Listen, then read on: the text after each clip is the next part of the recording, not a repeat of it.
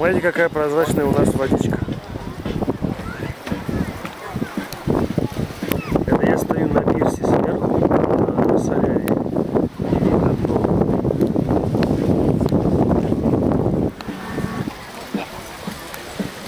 А глубина там метров, ну, наверное, метра четыре.